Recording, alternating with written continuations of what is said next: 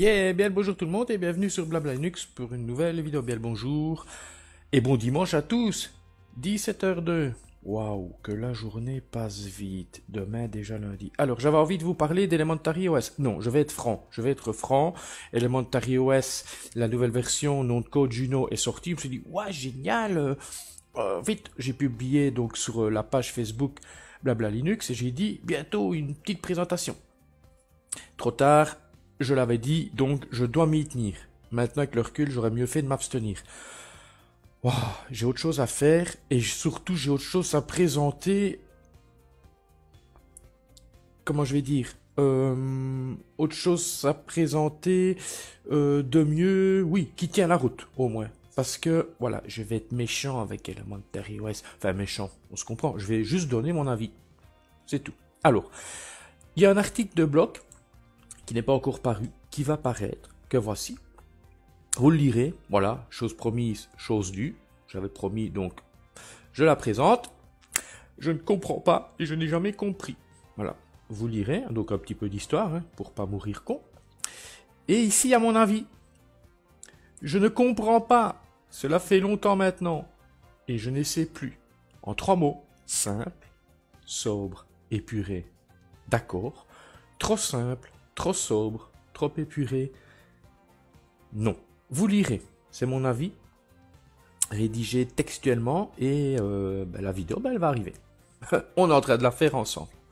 Alors, le site officiel d'Elementary, le voici. Donc, Elementary vient de sortir sa nouvelle version. Donc, code Juno. Euh, version 0.5, euh, c'est plutôt 5.0. Ok? Alors, attention, le site est bien fichu, hein, parce que bon, il vous renvoie vers un blog. Voilà. Vers de la documentation. Voilà. Euh, tout en français. Hein. Vous pouvez télécharger la Montari, heureusement. Et vous avez un forum. Je vais quand même revenir à ce que j'ai... À mon avis, c'est peut-être important quand même pour la... Pour la suite de la vidéo. C'est quand même important que vous sachiez... Parce que ceux qui vont juste regarder la vidéo vont se dire, oula... Alors, sous prétexte que le pack d'icônes simple beau, sans fioriture est apprécié, on décide de proposer une distribution portant le même nom et en utilisant la même recette qui a fait le succès des icônes. Un pack d'icônes n'est pas une distribution. Je me souviens au début quand Elementary a fait son apparition, elle a suscité l'engouement. On disait, et on dit toujours d'ailleurs, waouh, qu'elle est belle, regarde-moi ce visuel, oh la classe. Certes, elle apportait, depuis, d'autres distributions sont apparues, tout aussi belles, voire plus belles. Elle a porté du sang neuf au niveau du visuel concernant les distributions Linux en général. Mais être belle, ça ne suffit pas, ce n'est pas tout. Il faut aussi proposer des fonctionnalités. Et si cela ne peut se faire, il faut apporter, conserver les fonctions de base. Le problème de cette distribution, c'est qu'elle a appliqué la recette de la sobriété de son visuel aux fonctionnalités du système et aux options des logiciels. Au début, lorsque la distribution est apparue, on s'est dit oh, laissons-lui le temps, hein, elle va évoluer. Et si, le niveau de fonction arrive et si le niveau de fonction arrive à celui du rendu visuel, ah ben ce sera une bombe atomique cette distribution. Le problème, ben, c'est que rien n'a jamais évolué. Pour cause, c'était purement extrême et même devenu la philosophie de cette distribution. Mais bizarrement, cette dernière est toujours online et on connaît un certain intérêt chez bon nombre de personnes. Vous avez dit bizarre Je dirais même plus, super bizarre. Parfois, dans certains salons automobiles, il y a au centre, trônant fièrement, une voiture qui attire tous les regards. Et quand on s'approche pour voir l'intérieur, on s'aperçoit qu'il n'y a pas de volant, ni de frein, ni de siège. Ben voilà, Elementary c'est ça. Elle est belle, mais elle est vide. Pour finir, avec cet avis textuel. S'il vous plaît, ne venez plus comparer Elementary avec macOS. C'est une insulte pour le système de chez. Voilà, ça c'est mon avis. Maintenant, on va aller voir en vidéo cette Elementary. Alors, première chose, elle est basée sur... Donc, enfin, elle est basée.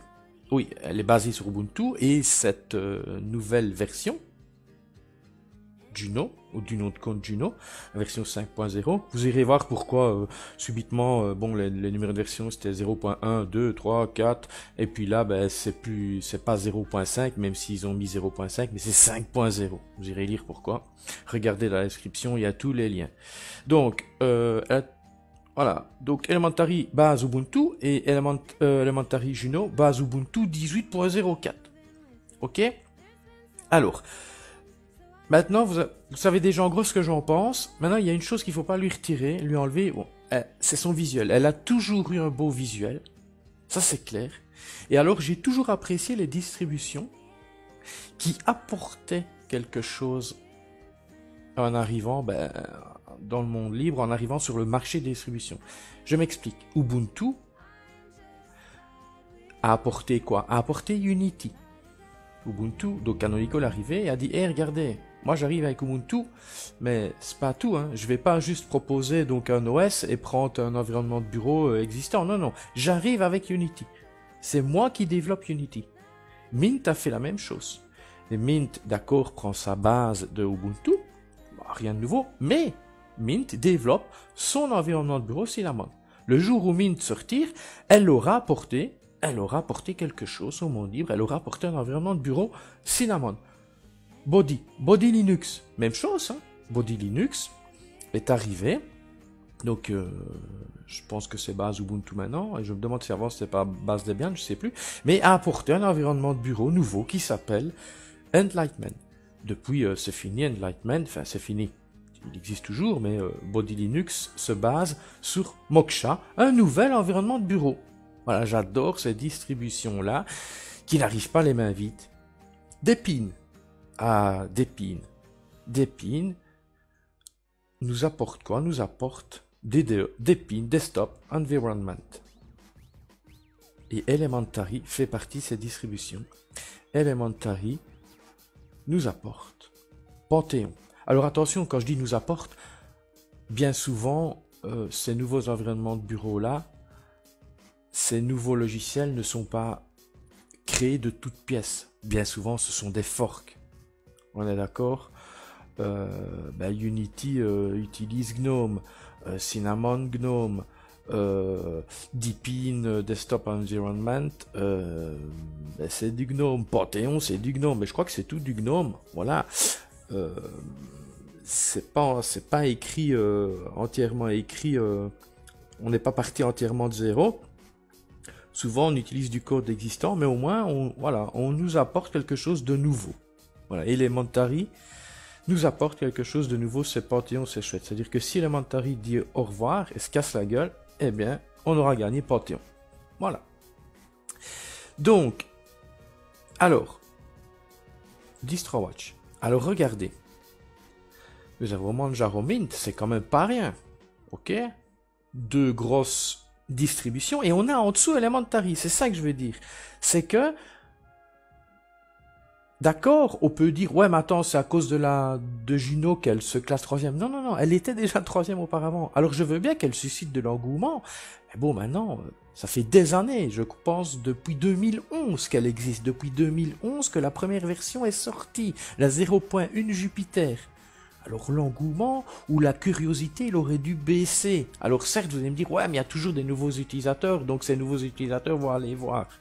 Oui, mais une fois qu'on a vu, c'est bon, quoi on sait à quoi ça s'attendre.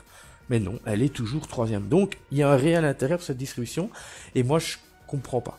Voilà, je comprends pas l'intérêt. Alors, le site. Oui, j'ai oublié le site. Si on se rend sur télécharger, est-ce que ça aussi c'est fort hein J'ai l'impression, comme euh, voilà, j'ai discuté un peu euh, euh, sur Blabla Linux, je sais plus le groupe La Page, et il y avait quelqu'un qui disait on a l'impression qu'il n'assume pas le côté payant. Je m'explique, si on clique sur télécharger,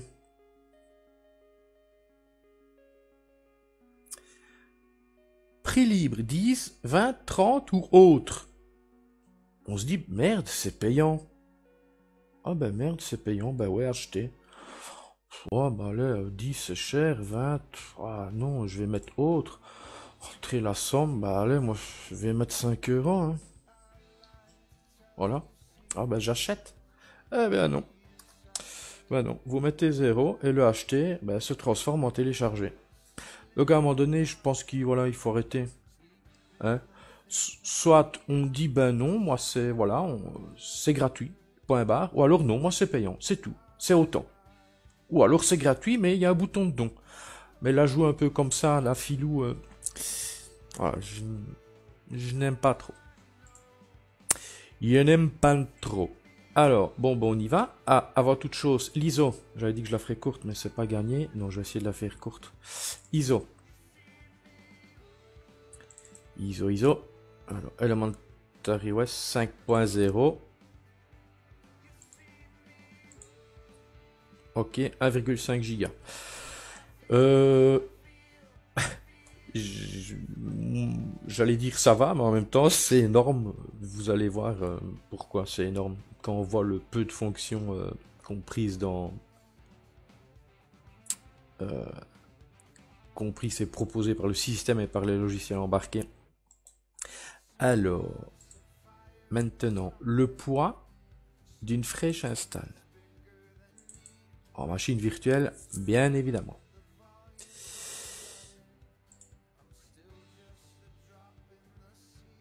6 gigas, 6100 mégas, tout en sachant qu'il y a un instantané de prix. Ouais, on va dire 100, 100 mégas l'instantané. Donc 6 euh, gigas. Ça va, hein? Ça va, ça va.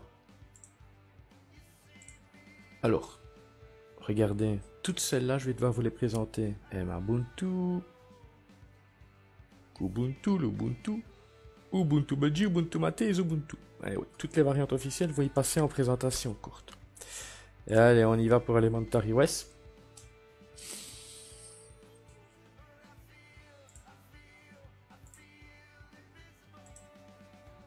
Ah, ça, le visuel, on ne peut rien lui enlever. C'est léché, c'est propre, c'est carré. Ça tortille pas du cul, comme on dit. Hein. Voilà. Et bon nombre de distributions devraient prendre exemple maintenant. voilà prend exemple uniquement sur le rendu visuel, hein, ok? Pour ce qui est du reste, sûrement pas. Alors, Frédéric Buzzy l'avait relevé. Euh, ici, euh, pas moyen de... Allez, d'enlever le PM.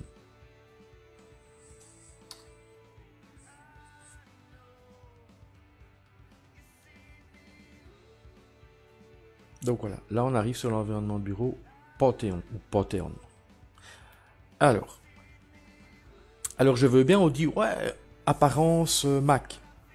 Bah, alors si on y va par là, moi aussi alors, apparence Mac. Euh, je dis par là, il en faut peu à certains pour dire ouais, apparence Mac. Si on y va par là, ben moi aussi alors, c'est apparence Mac. Donc, Panthéon. Par défaut, un panel supérieur hein, qui restera là, il n'y a pas moyen de le bouger, avec l'icône qui représente le menu des applications. Voilà, on va y revenir après.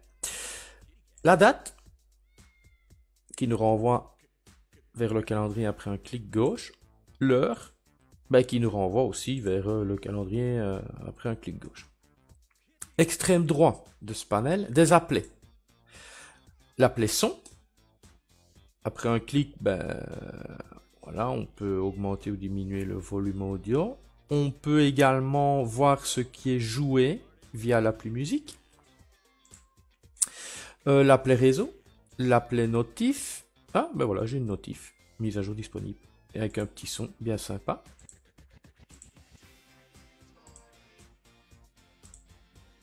Et voilà. Et alors l'appli euh, extinction et qui nous laisse apparaître des infos sur le compte utilisateur présentement utilisé. Euh, Alors, j'ai oublié de, de préciser. euh, donc, Elementary nous a apporté comme environnement de bureau Panthéon, mais c'est pas tout. Elementary apporte également son lot de logiciels euh, maison. Oui, mais je vais revenir par après. Alors, on a un doc dans le bas. Le doc, c'est Planck. Ok. Avec notamment la vue multitâche. Je vais revenir par après aussi. Et toute une série de logiciels épinglés en tant que favoris ou que raccourcis. Vous pouvez voir notamment les paramètres système. Voilà, on va commencer par les paramètres système. Ok. Alors, comme macOS. Alors, on a application. On peut choisir les applications par défaut, utilisées donc pour le web. La messagerie, calendrier, lecteur vidéo, lecteur audio, visionneuse d'images, éditeur de texte, explorateur de fichiers. Démarrage. On peut choisir quelle application euh, doit démarrer automatiquement ou pas. Bureau. Ah, bureau, c'est intéressant. Fond d'écran. On n'a pas le choix de choisir un fond d'écran évolutif, donc au long de la journée. Ok. Le dock, on peut personnaliser son dock. Ok, petit, normal, grand. On en normal. Caché lorsque une fenêtre chevauche le dock. On va voir. Oui. Apparaître avec la pression de la souris.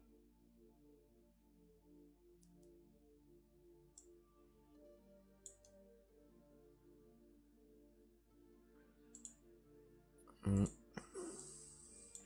Moi, ce qui m'intéresse, c'est ça. Les coins intelligents. Alors, on va faire UV multitâche et là, afficher toutes les fenêtres. UV multitâche. Voilà. Pas mal, hein. Et afficher toutes les fenêtres, il faudrait que j'ouvre, par exemple, allez, centre d'application.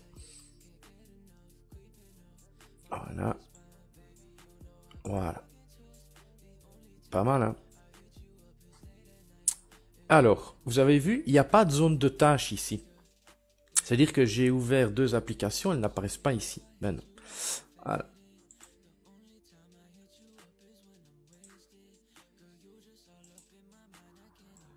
Alors, ça c'est fait. Langue et pays. Normalement, c'est bon. Euh... Terminer l'installation. On va voir si ça va. Je m'authentifie. Ouais, c'est une fraîche install. Donc je l'ai installé et je n'ai pas joué du tout avec.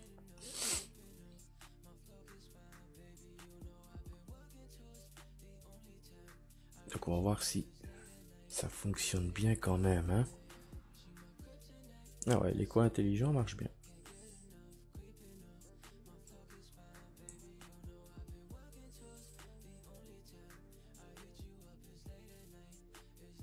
Alors, vous avez pu remarquer, euh, euh, c'est assez déroutant. C'est assez déroutant. Donc, une fois l'application ouverte, une fois une application ouverte, oui, on peut la basculer en full screen, en mode fenêtré. Ok. On peut la fermer. C'est tout. Bouton fermeture à gauche et full screen mode fenêtré à droite. Région France, ok, format Belgique, mais tout est bon. Paramètres du clavier belge, ok. Pour moi, c'est bon. Notification, alors on recevra les notifs de l'utilitaire du logiciel calendrier, du centre d'application. On recevra des notifs du logiciel mail, gestionnaire de fichiers, du gestionnaire d'archives, du logiciel de musique, gestionnaire de réseau, de l'instance terminale et autres. Et alors, on peut voir que pour chaque bulle, son centre de notif. Ça, c'est pas mal. Sécurité et vie privée. Historique. L'historique sera surveillé. Verrouillage. Donc, verrouillé en veille, verrouillé après extinction. Ah, notif, ok. Pare-feu. Ah, on a un pare-feu. nettoyage, je suppose que c'est euh, euh, GUFW là. Le pare-feu.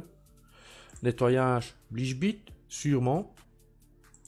Service de localisation, il est activé par défaut. Affichage, bah c'est affichage. Hein. Ah, on a le mode nuit. On va activer le mode nuit. On active le mode nuit. Donc du coucher au lever du soleil. Cool. Alimentation. État de l'écran lors d'une inactivité supérieure à 15 minutes. Bouton de mise sous tension, donc mettre en veille. mettre en veille si inactif depuis 30 minutes. Clavier. Donc disposition, raccourci, comportement, imprimante, son, sortie entrée, souris et pavé tactile, gauche, droit. Oh là, il y a un bug. Ah ouais. Hein. Ah, pardon. non, c'était pas un bug. Quel con, c'est moi. Les comptes en ligne. Alors là, les comptes en ligne, parlons-en. Trois comptes en ligne. Euh, et en plus, euh, donc c'est pauvre, hein. C'est pauvre. Comme Elementary au niveau des. Voilà. Hmm, au niveau des options, système, logiciel utilitaire, mais en plus, donc c'est pauvre au niveau nombre de comptes en ligne, mais c'est pauvre aussi, enfin, mais en plus, c'est pas ce qu'on attend. Voilà, c'est pas ce qu'on attend. Il y avait peut-être mieux au niveau du choix des comptes en ligne hein, à proposer. Partage. Partage. Donc désactiver les bibliothèques de médias sélectionnés ne seront pas partagées et il n'est pas possible d'envoyer des fichiers depuis votre disque vers d'autres périphériques. Oh, cool. Alors, réseau. Tout ce qui concerne le réseau. Ethernet, Wi-Fi, ben, si vous avez Wi-Fi, VPN, proxy. Accès universel, je passe. Compte utilisateur. Ah, on peut activer la session invitée. Contrôle parental. On a un contrôle parental. Euh, si je fais ceci, que je déverrouille. Voilà. Configurer le compte utilisateur. Ah ok, il nous renvoie là. D'accord, ça va. C'était juste pour voir comment ça allait. Date et heure. La date et l'heure. Ah, ben je vais mettre en 24 heures. Ah, tiens, 24 heures. Fred avait dit que lui, il avait des soucis pour passer en mode, en mode 24 heures plutôt que MPM. On va voir si chez moi ça marche. Afficher numéro de semaine. Là, ça a l'air d'aller. On verra bien tantôt en démarrant. Et à propos, donc on peut voir Elementary OS 5.0 Juno, architecture 64, basé sur Ubuntu 18.04. Le noyau 4.15.0, révision 36, et on a affaire à du GTK 3.22.30. Il y a une chose qui est pas mal, c'est restaurer les paramètres par défaut. Donc à partir de l'écran propos, donc on peut restaurer les paramètres par défaut. Si je clique, les paramètres du système seront restaurés aux valeurs par défaut. Tous les paramètres du système et les données seront réinitialisés aux valeurs par défaut. Les données personnelles, donc comme la musique et les images, ne seront pas affectées. Je ne vais pas le faire maintenant, je le ferai tantôt, on verra. Proposer les traductions, signaler un problème, vérifier la mise à jour. Ok. Moi, ce qui m'intéresse, c'est donc ce que je vais faire. On va aller voir s'il y a comme soft. Par défaut. Alors, soit on appelle la totalité des applications, donc, enfin, on appelle la totalité des applications via son menu, ici. Là, on a un affichage global, ou alors on peut, on peut avoir un affichage par catégorie. Accessoires, bureautique, infographie, Internet, outils système, programmation, son et vidéo.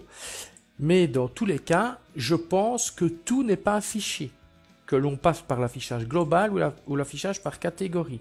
Je pense pas, si je fais texte. Je vois ici police. Est-ce que je serais curieux de voir si... Regardez. Avec l'affichage global, je n'ai pas police. Et avec l'affichage par catégorie, je n'ai pas police. Je ne le vois pas. Voilà.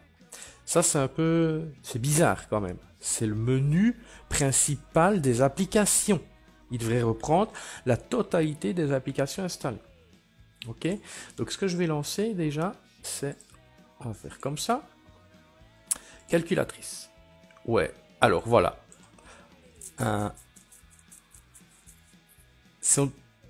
Vous allez comprendre toujours à venir. Si je fais un clic droit sur le bureau, c'est mort. Clic droit ici, j'ai un menu contextuel.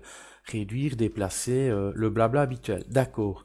Mais où est, là je peux étendre, voilà, mais où est le, je sais pas moi, le, menu préférence de la calculatrice Hein? Ou le petit icône à propos. C'est quoi comme calculatrice? Si je fais un clic droit ici, ben, fermer, épingler au doc. D'accord. Voilà, donc je suis un peu... C'est déconcertant.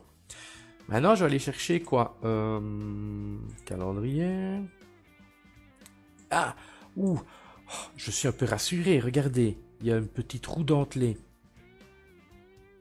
Ok. Euh, oui. Mhm. Donc retenez pour fermer à droite. Et j'allais dire basculer en plein, euh, à gauche et basculer en plein écran à droite, mais c'est même pas le cas pour toutes les applications. calculatrice n'a pas ça. Ok, même chose donc. Euh, donc j'ai ouvert le calendrier. Et où est le calendrier? Voilà, c'est ça qui est chiant. Il n'y a pas de zone des tâches, donc rien n'apparaît là. Mais en plus dans le doc, mais le calendrier n'est pas apparu. Vous voyez, c'est un peu bizarre. Hein. Caméra, capture d'écran. Ok, d'accord. Mais voilà, j'aimerais bien savoir à quel logiciel j'ai affaire. Ok, euh, l'utilitaire capture d'écran. Mais c'est quoi? C'est quoi C'est quoi l'utilitaire capture d'écran? Comme c'est quoi euh, C'est quoi la calculatrice utilisée? J'en sais rien. C'est quoi le calendrier utilisé? C'est quoi? Je sais pas moi, G calendar ou calendar machin, euh, on n'en sait rien. On n'en sait rien. Email. Ok. D'accord. Clic droit, bah fermé, épingler au doc, rédige un message. C'est tout. Il y a, aucune icône de préférence. Il n'y a aucune icône d'option. Il n'y a aucune icône d'info, aucune icône à propos. C'est déconcertant. C'est ça que je dis, c'est, vide. Elle est belle, mais c'est vide. Epiphanie, donc le... naviguer sur le web. Ah, une roue dentelée. Ah, préférence. Yeah. Euh, ok, d'accord. Ah, on peut synchroniser avec l'outil Firefox Sync. Génial. Heureusement que je sais que c'est Epiphany grâce à, à son nom dans le menu des applications à son icône. là, ça doit être Jerry. Et là, là, je sais pas. Là, je sais pas. On peut basculer en full screen mode fenêtré. Pas mal. Ok. Bon, allez, on continue cette visite. Fichier. Ah, fichier. Oui, mais c'est quoi? C'est quoi? Si je fais un clic droit là, nouvelle fenêtre en tant qu'administrateur, nouvelle fenêtre, téléchargement. Ok, euh, mais c'est quoi? C'est Tunar C'est, euh, je sais pas moi, c'est Nemo, c'est Nautilus, c'est Dolphin, je sais pas, non. C'est pas Dolphin, c'est pas Tunar, mais, mais c'est quoi? Si je fais un clic droit, euh, j'ai accès à rien. Waouh, c'est balèze, c'est déconcertant. Alors ça, c'est les applications maison. On a musique. Mais même, c'est pauvre. Une roue dentelée. Pré ah, préférence. Ok. C'est déconcertant. Photo. Shotwell? On ne sait pas. En fait, on ne sait pas. Préférence. Et pourquoi lui est en noir? Pourquoi l'application photo est en noir? N'y sait pas. Et, comment personnaliser cet, environnement? Ben C'est comme macOS, on peut pas, hein, ou, très peu. voilà. Je sais pas. Je comprends pas. Je suis un peu déconcerté. Terminal. Ah, le terminal. On en fait des choses via le terminal. Même chose. Une roue dentelée. Chaque fois, je suis rassuré, mais en même temps, je suis déçu. Ça par contre c'est pas mal du tout. Ouais, c'est pas mal du tout. Ok. Vidéo, application maison. Ah là, quand je vous dis que c'est déconcertant, c'est déconcertant. J'ai rien réglé, quoi. Même par là, euh, waouh. Là, c'est travailler pour brider. Hein. Alors, euh, ok, maintenant, si je me rends là. Bureautique, euh, calendrier. Donc, en fait, elle n'embarque même pas j'allais dire le minimum. L'autre fois, j'ai vu quelqu'un qui laissait un commentaire. Ouais, mais vous dites que euh, en 2018, une, distribution doit au moins embarquer euh, une, une suite bureautique. Or que par exemple Windows, elle ne n'embarque même pas. Puis je me suis dit, bah oui, c'est vrai, on dit toujours. Hein, en 2018, euh, minimum, c'est une suite bureautique. et, et j'allais répondre, mais c'est vrai, t'as raison, c'est peut-être pas nécessaire. Eh bien, détrompez-vous. Cette fois-là, en peu de temps ici, j'ai eu quelques clients et tous, tous, tous venaient donc pour une, nouvelle install, que ce soit sous Linux ou sous Windows, beaucoup plus sous Windows, et me disaient il me faut, quelque chose pour taper du texte et imprimer. C'était impératif. Ils parlaient pas nécessairement de la suite Microsoft Office, mais il leur fallait une petite suite bureautique pour faire le minimum des lettres, des, petites cartes de visite. Donc voilà, il faut, une suite bureautique. Et chez Linux, on a des suites bureautiques. Ici, il n'y a pas de suite bureautique d'embarquer. Donc ce qu'on va faire, on va lancer le centre d'application. Et là, je vais vous montrer encore quelque chose qui me plaît pas trop. Voilà le centre d'application, accueil installé. D'accord? C'est tout. Il n'y y a pas de menu préférence, il n'y a rien. Bon, je vais faire comme ceci. Et Accessoires, regardez, je vais montrer. Déjà, je déteste voir ça. 3 euros, gratuit, gratuit, gratuit, 1 euro, gratuit, 2 euros. Et alors, on a les applications vérifiées. On a les applications vérifiées, vérifiées par l'équipe de développement d'Elementary. Donc, on peut voir que les premières listées sont des applications vérifiées. Et si on descend, on voit les applications non vérifiées. C'est rassurant. Arc, ben, vous l'installez, euh, vos risques et périls, apparemment. Et alors, je vois qu'il y a du payant. Ok. Mais encore une fois, si je fais 0, elle passe en gratuit. Alors ça, je ne supporte pas. Et vous pouvez l'installer, hein. voilà. Je, voilà, je ne supporte pas cette façon de faire. Désolé. Donc je vais attendre que... Ah ben voilà, apparemment, apparemment, agenda serait installé. Donc si je... Ah ben voilà, agenda. Ok, et vous pouvez être sûr qu'ils ont vérifié et validé des applications donc, qui s'intègrent parfaitement dans leur, j'allais dire, entre guillemets, écosystème. Ça veut dire qu'ils ont un, visuel euh, sobre, simple, épuré. Euh, maintenant, on va voir. Si je fais LibreOffice, libre, puisqu'il manque une suite Office, hein. ou alors je vais faire autrement comme ça. Euh, accessoires, bureautique.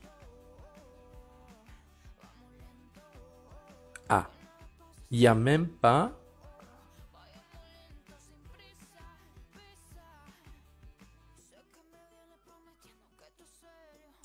C'est une blague ou quoi? Ah, quand même, j'ai eu peur. LibreOffice, voilà gratuit, encore heureux. Merci.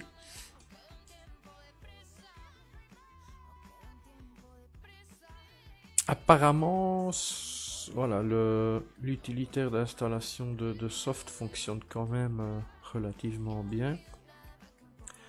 Il n'a pas l'air de bugger.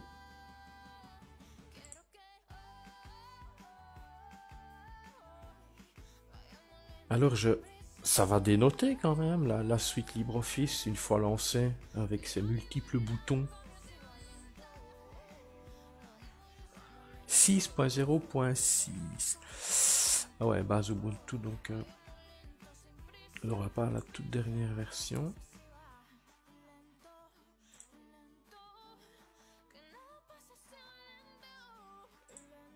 Donc on va voir. On patiente, on patiente.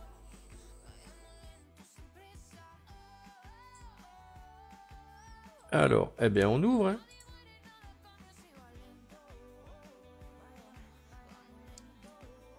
Ah oui. Putain de gestionnaire de fenêtres. Pardon.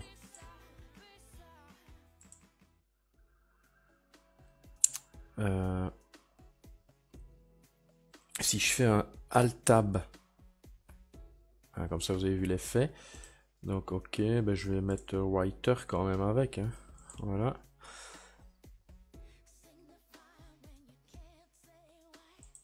Writer, euh, Impress pour les présentations. Voilà. Et on patiente, on patiente.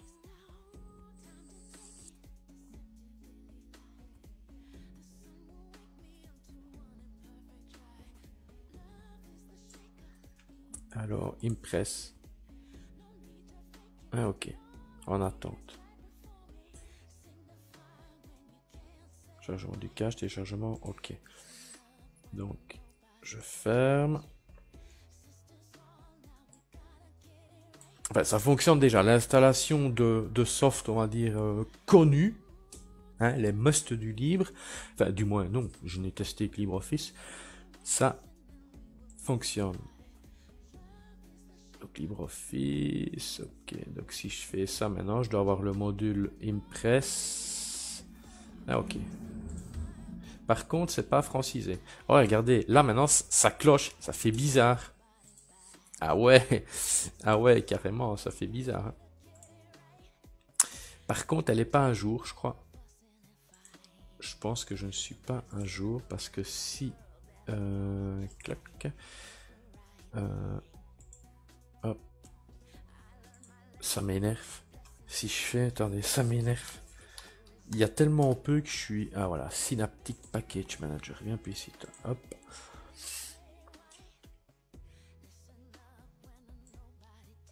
Donc vous avez vu, hein, par exemple, je vais lancer donc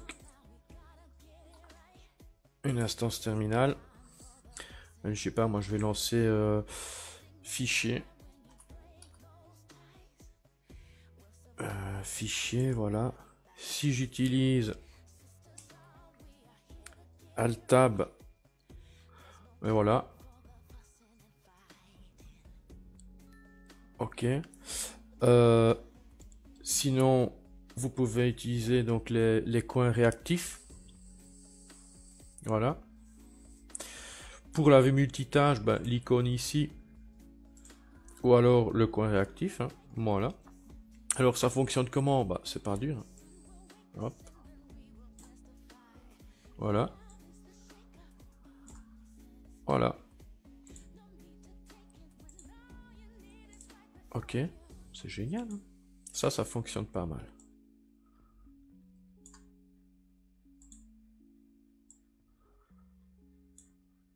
Voilà. Voilà. Ah ouais, bah oui, le clic droit ne fonctionne pas. Hein. Donc. Synaptique, est-ce que c'est bon? Synaptique est bon. Je m'authentifie, je valide par Winter. Synaptique est bon. Ok, donc ça veut dire que si je fais par exemple Chromium,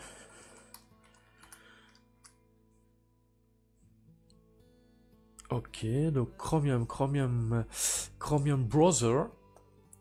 Sélectionner préinstallation. Il me propose également le fichier L10N pour le, les traductions. J'ajoute, voilà. J'applique. Installer. Aucune modif. Appliquer.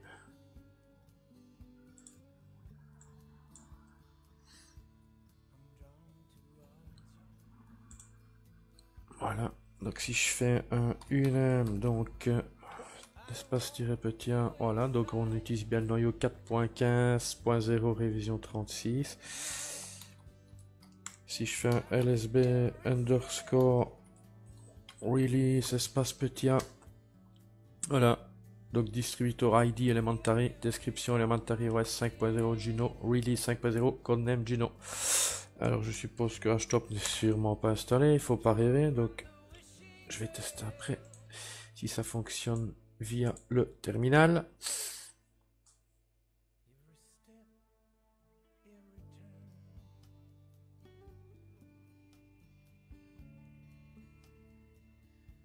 Ok, donc je peux fermer, merci. Alors, ah, il y a quelque chose que je vais faire, c'est dire que je veux Chromium en tant qu'application par défaut pour le web. Voilà. Ok. Alors, on va aller chercher Chromium. Chromium. Que je vais... Pardon, que je vais, que je vais... Oula.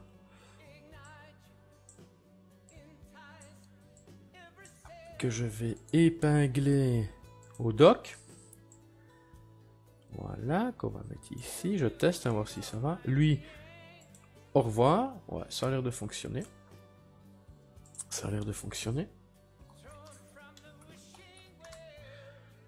Voilà. On bascule en plein écran fenêtré. Je teste.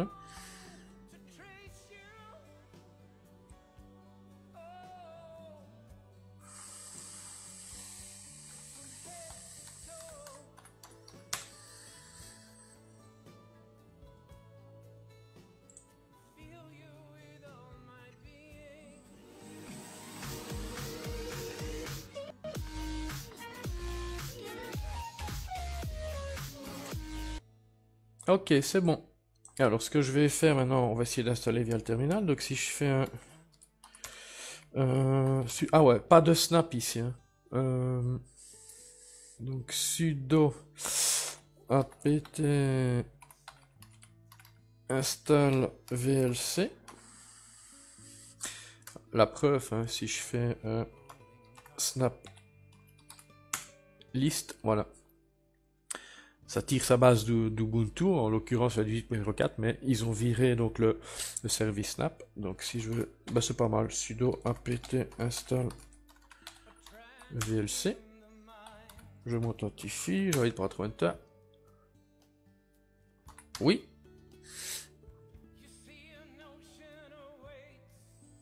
Voilà, et personnellement, je l'ai jamais, je ne l'ai jamais utilisé, je ne l'ai jamais conseillé, parce que oui, elle est belle, mais euh, le fait d'être dépourvu de pas mal de fonctions de base, pour moi, qui sont primordiales, en fait, ils ont amputé le système et amputé euh, les logiciels et les utilitaires de fonctions de base.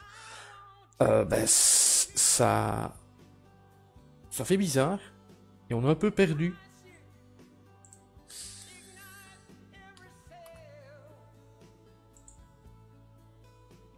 Voilà. Et alors...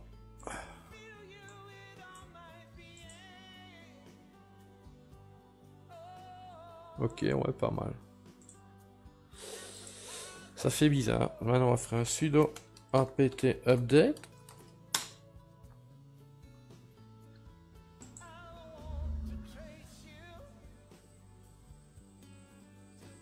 voir si euh, la mise à jour du système les mises à jour du système s'effectuent correctement.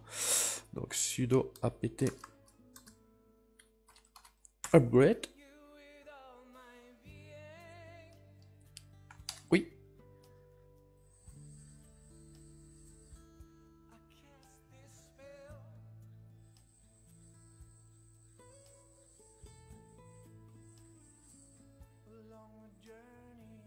On patiente, on patiente, on patiente. Ah bah c'est déjà fait, cool. Donc si je fais un sudo apt auto remove.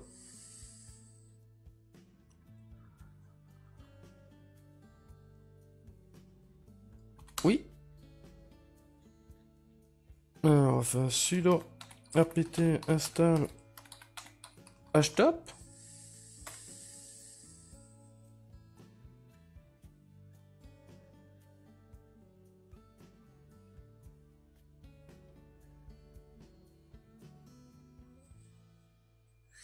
Ok. Euh, ben voilà.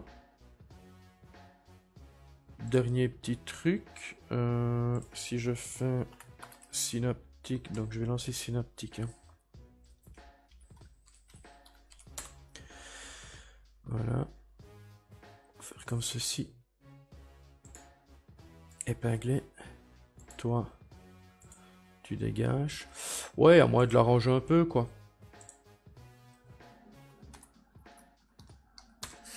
Firefox.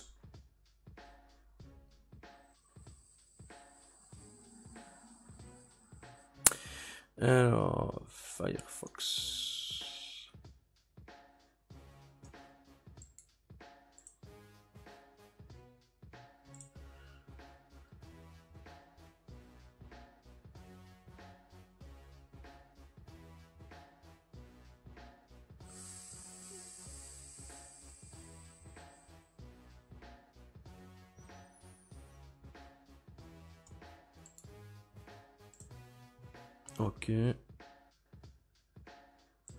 Appliquer.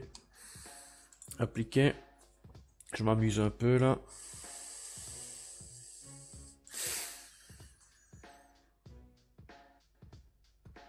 Et alors, euh, voilà, ce qui était important de vérifier, c'est que si quand même on avait accès à, à toute la Logitech, euh, toute la Logitech Ubuntu, euh, parce que si c'est pour brider l'accès à, gros logiciel bien connu, euh, non. Donc en plus d'être pauvre au niveau, euh, au niveau euh, fonction système, option logiciel et utilitaire, package soft. Si en plus de ça, bah, l'accès au, gros, au gros logiciel au gros nom du logiciel libre était bridé, ça ne le fait pas. Alors, il y a juste quelque chose. Maintenant, si je fais LibreOffice. Voilà. Alors.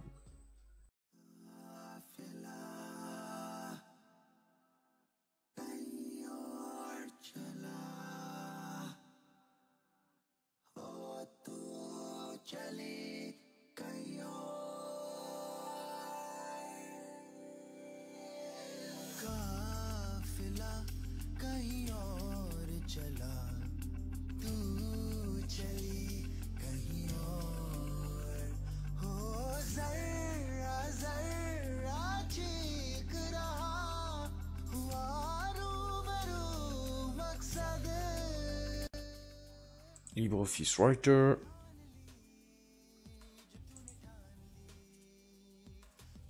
Ok. Nouveau. Non, c'est pas ça que je veux. LibreOffice. Ok, là c'est bon. Traductions sont bonnes. Donc Chromium, les traductions, je ne sais plus, mais je pense qu'elles étaient bonnes. Oui, c'est bon, d'accord. Et alors, on va tester Firefox.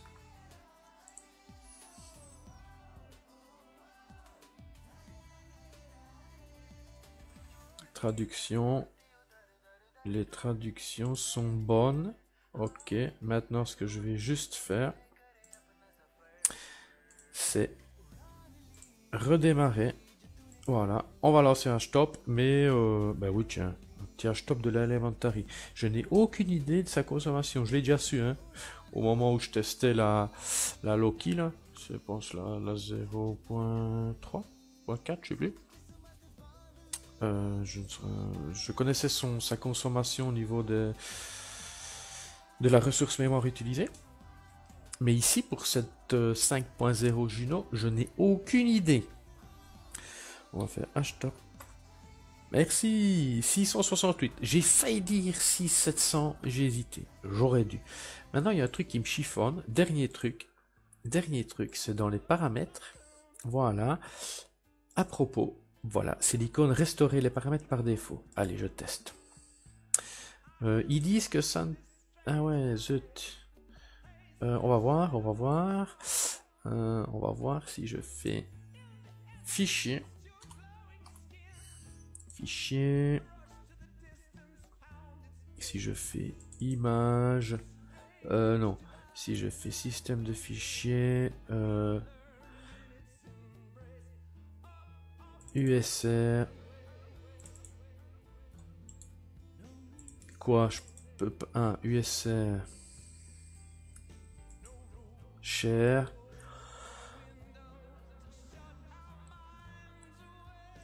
Backgrounds.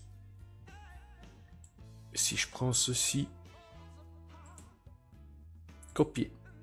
Image. Je colle. Voilà.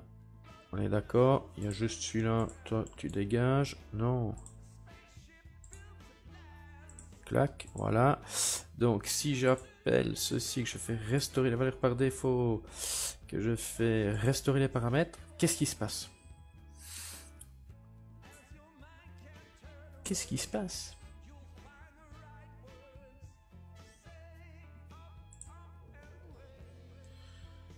Restaurer les paramètres par défaut. Tous les paramètres du système et les données seront réinitialisés par défaut. Ah, ok, juste les paramètres. Tout ce qui est la personnalisation, apparemment, on ne touche pas, et alors les fichiers personnels. En théorie, donc, puisque les paramètres sont mis par défaut, je ne devrais plus avoir accès à mes hot corners, mes coins réactifs. Ah non. Ok. Ah, c'est bon, ça marche. Génial, voilà. Eh bien, j'espère que cette présentation vous aura plu. Mais en tout cas, elle m'a... elle m'a plu. allez, sur ce, je vous dis bah, une prochaine. C'est Danny pour Blabla. Linux, allez, ciao, ciao.